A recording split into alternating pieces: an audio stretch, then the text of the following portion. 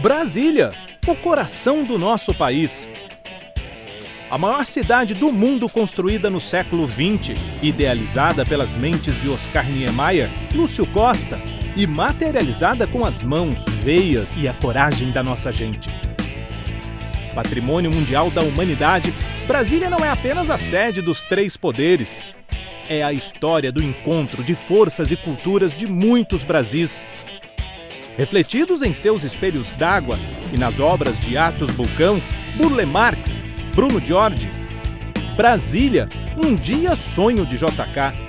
Hoje é a prova concreta de que a união de um povo transforma uma nação. E de que juntos, no mesmo plano, podemos pilotar o nosso melhor presente e futuro. Band Brasília, olhar de quem acredita.